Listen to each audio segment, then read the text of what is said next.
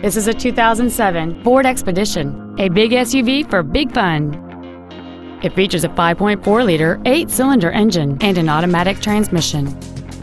Its top features include air conditioning with automatic climate control, cruise control, an auto-dimming rearview mirror, an in-dash CD changer, a double wishbone independent front suspension, aluminum wheels, running boards, a low tire pressure indicator, a keyless entry system, and this vehicle has fewer than 31,000 miles on the odometer.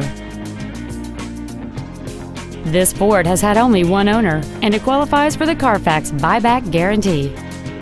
This vehicle won't last long at this price. Call and arrange a test drive now.